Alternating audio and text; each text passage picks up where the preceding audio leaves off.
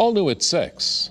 This is all about lifestyle and, and making it fit for you. The pandemic has more people staying at home, and that also means more people working on home improvement projects and remodeling. If you're in need of some inspiration, well, the Parade of Homes is taking place this weekend. Channel 3 is a sponsor, and Eyewitness News reporter Aya Galal shows us some of the latest trends.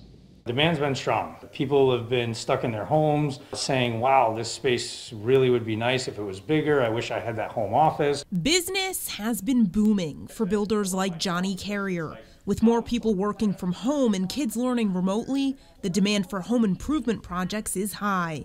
Johnny says he has never been busier. For us, uh, we're booking closings out into July at this point because there's just that much demand. So if you're thinking about remodeling or maybe just need some inspiration, this weekend is your chance to get started. The Home Builders and Remodelers Association of Central Connecticut is holding its Parade of Homes event this weekend. The self driven tour allows you to see the latest home designs, trends, and styles. There's homes from $200,000 all the way up to $2 million. Mm-hmm. And it's, it's a great way if you're looking for inspiration for next home project, it's a great place to do that.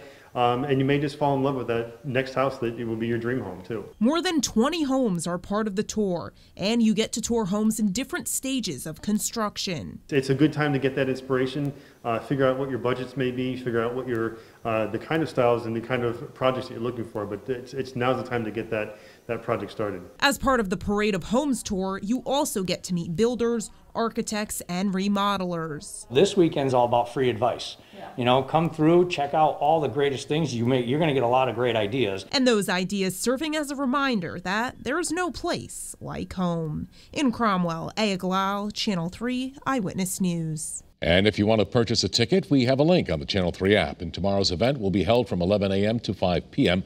All ticket proceeds are donated to Connecticut Children's Medical Center.